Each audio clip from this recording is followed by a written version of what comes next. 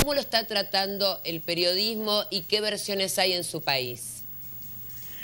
Sí, acá hay una preocupación muy grande también. Eh, este hombre de 47 años eh, mora em Cascavel, no oeste do Paraná, e foi transferido para Rio de Janeiro.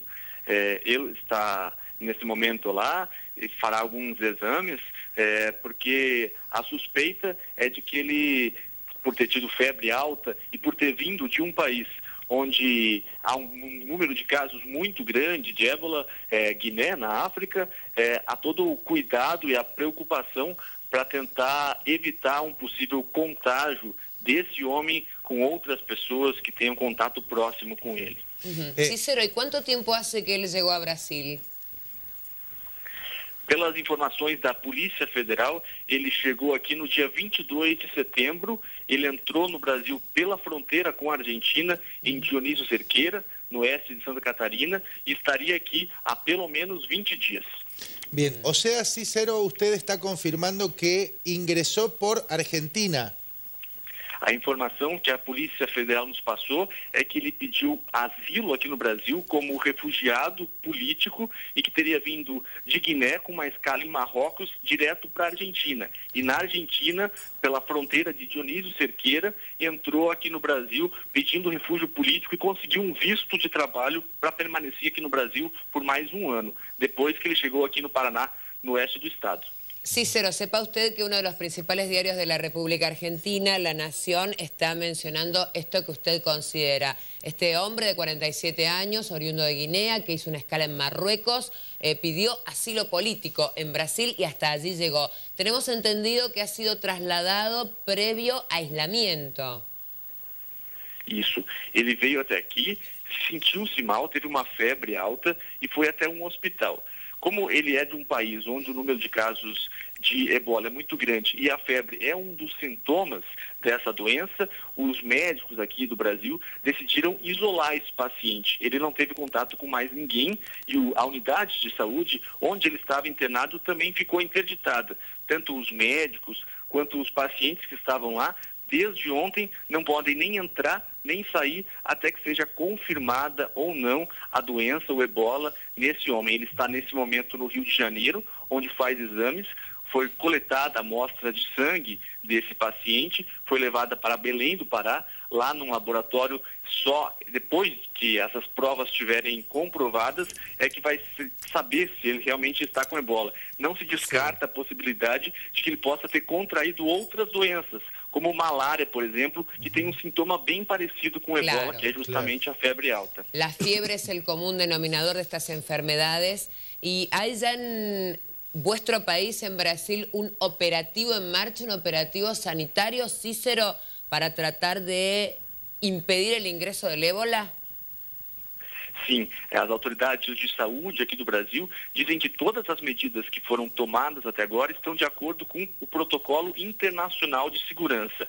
Tanto que quando a transferência desse paciente da unidade de saúde para o aeroporto foi feita numa ambulância especial, ela foi preparada especialmente para fazer esse transporte e os médicos, todas as pessoas que tiveram contato e que fizeram essa, esse transporte dele até o Rio de Janeiro vestiram roupas especiais, aquelas roupas que a gente vê que não há nenhum contato entre a pessoa que pode estar infectada com o restante das outras, né? Como gorros, é, também um, um, capacete, máscara, toda uma proteção especial para não deixar o vírus, se estiver com ele, entrar em contato com outras pessoas e com outros ambientes em que ele possa se deslocar. Bien. Eh, Cícero, ¿en qué ciudad te encuentras en este momento? Desculpe, ¿se puede repetir, por favor? Si nos puedes decir en qué ciudad estás morando en este momento. Cascavel, Cascavel, Cascavel. no Paraná. Foi Bien. a cidade la... onde esse homem estava até ser transferido nessa madrugada para o Rio de Janeiro. Eh, la gente en Cascavel, eh, los habitantes, ¿están preocupados? Sim, há um clima de tensão muito grande porque esse homem entrou em contato com várias pessoas, né? Hum. Tanto na casa onde ele morava, com outros refugiados que vieram possivelmente do Haiti, de uhum. outros lugares, quanto no lugar que ele trabalhava.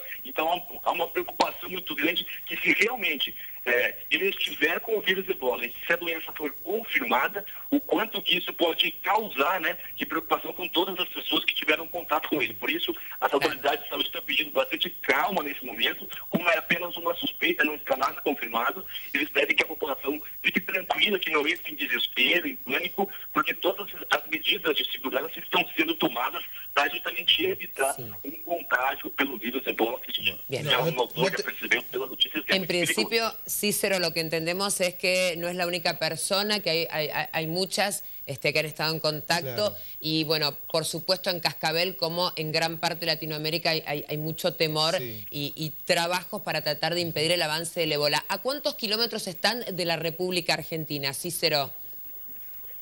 A gente está perto de Foz do Iguaçu. A gente fica a 100 quilômetros de Foz do Iguaçu, então é mais para cima, ali da divisa de onde que entrou, que seria é, Dionísio Cerqueira, né?